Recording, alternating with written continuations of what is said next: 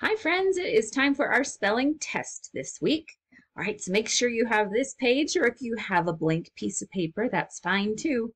Write your name up at the top. All right, let's go ahead and take our spelling test. If I'm going too fast, that's okay. Just push pause and you can take all the time you need. All right, number one is carry. Carry. Will you help carry the groceries? Carry.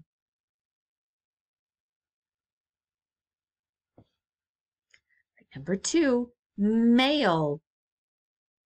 Mail. I got a card in the mail. Mail. Number three, our. Our. You are part of our first grade class. Our.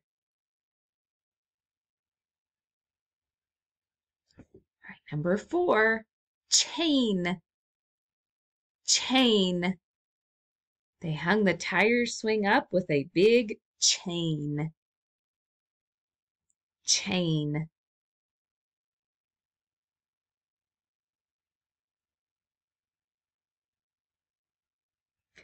Number five, day. Day. Which day of the week is it? Day.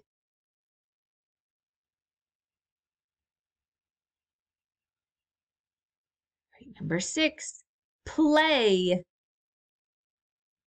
Play. I love to play outside. Play.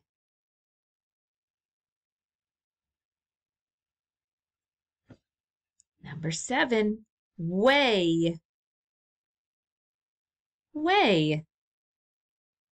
Which way should I go? Way.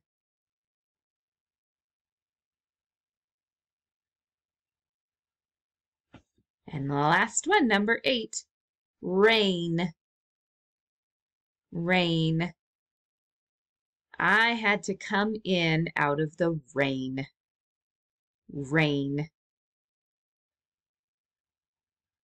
All right, great job, friends. All right, choose one of those words, and at the bottom, write a sentence using one spelling word.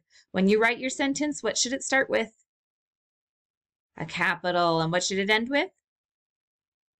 A period. Very good. All right, great job with that spelling test today.